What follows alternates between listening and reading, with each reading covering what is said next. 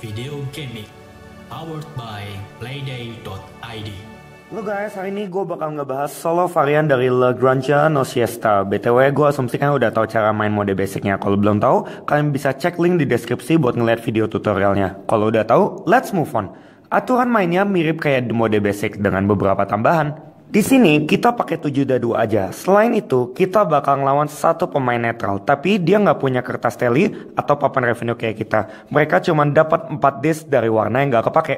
Balik papan siesta jadi sisi soliter dan taruh di sebelah atas kertas teli kita. Di sebelah kanan ada space dadu bawah, area atap, dan space dadu atas. Seperti biasa, taruh satu disk kita dan satu disk pemain netral di space pertama di jalur siesta. Kocok tiles atap dan taruh 6 secara tertutup di sebelah kiri papan siesta. 18 sisanya secara tertutup ditaruh di sebelah atas sebagai deck timer. Balik papan market jadi sisi soliter juga dan taruh di tengah area permainan. Finally, tentuin satu keranjang yang otomatis dikompletin sama pemain netral. Caranya, kocok dadu dan coret poin tertinggi dari keranjang yang bersesuaian di kertas teli kita. Mata dadu hasil panen berarti keranjang pertama, dadu babi atau silver berarti keranjang kedua, dan dadu keledai atau topi berarti keranjang ketiga. Dalam contoh ini, kita dapat babi berarti yang dicoret adalah poin tertinggi dari keranjang nomor 2. Selain itu, taruh juga satu disk pemain netral di spot di market sesuai mata dadunya. Jadi karena hasilnya babi, kalau lihat tuh ada gambar babi di situ, berarti disknya ditaruh di sini.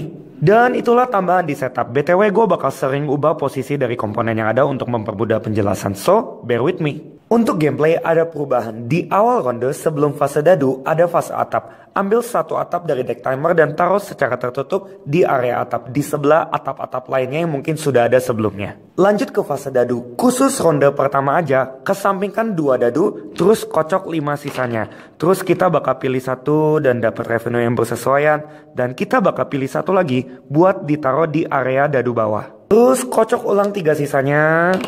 Kita pilih satu revenue lagi, kayak biasa, dan satu lagi ditaruh di space dadu bawah. So, sekarang ada dua dadu di situ. Finally, kocok ulang dadu yang terakhir, dan kita dapat revenue itu. Dan itulah fase dadu khusus di ronde pertama. Fase dadu di ronde-ronde berikutnya bakal dibahas sebentar lagi. Fase scoring gak ada perubahan dari mode basic. Kita pakai revenues kita buat ngembangin area-area di kertas teli atau maju di jalur siesta. Di akhir ronde, cek dadu di space dadu bawah. Kalau ada minimal satu simbol topi, berarti nggak terjadi apa-apa. Tapi kalau nggak ada simbol topi sama sekali seperti di contoh ini, maka pemain netral akan maju satu space di jalur siesta. Kalau pemain netral mencapai space spesial ini, dia bakal kompletin satu keranjang teratas di kertas teli yang belum dia kompletin di setup. Kalau dia sampai di space spesial berikutnya, maka dia akan kompletin keranjang yang terakhir.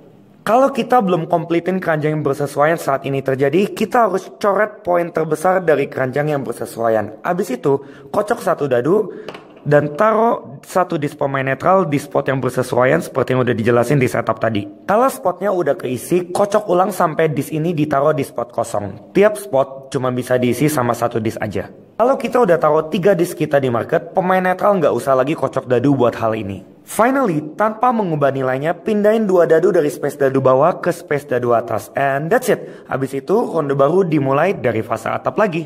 Mulai dari ronde kedua dan seterusnya, di fase dadu kita kocok 5 dadu kayak biasa. Dua yang ada di space dadu atas dibiarin aja di situ. Perbedaannya, kalau kita milih dadu yang simbolnya sama dengan salah satu dadu yang ada di space dadu atas, maka pemain netral akan maju satu space di jalur siesta. Kalau dia sampai di space special, dia bakal langsung kompletin kanjang kayak yang udah dijelasin tadi. Dan seperti biasa, bukan cuma ambil satu dadu buat kita, kita juga harus pilih salah satu buat ditaruh di space dadu bawah. And that's it. Di akhir ronde, ambil dua dadu di space dadu atas buat dikocok ulang di ronde berikutnya, diganti dengan dua dadu dari space dadu bawah. Sepanjang permainan, pas kita bangun atap, ambil dari area atap, jangan dari deck timer. Kalau area atap kosong, kita harus tunggu ronde berikutnya pas atap baru muncul. Kalau helper mengizinkan kita buat ngambil dua atap, yang pertama itu dari area atap, yang kedua dari tiles yang dikesampingin ini. Seperti biasa, pilih satu buat dimainin dan satu lagi dikembalikan ke box. Ya begitulah, permainan selesai saat salah satu disk mencapai space terakhir di jalur siesta. Atau kalau di fase atap, deck timer udah kosong. Jadi maksimal permainan berlangsung selama 18 ronde di mode solo ini. Scoring sama kayak mode basic dengan beberapa pengecualian. Kita cuma dapat poin dari jalur siesta kalau disk kita sampai space terakhir dan mendahului pemain netral. Poin yang didapat adalah jarak antara kita dengan pemain netral. Dalam contoh ini kita dapat 3 poin.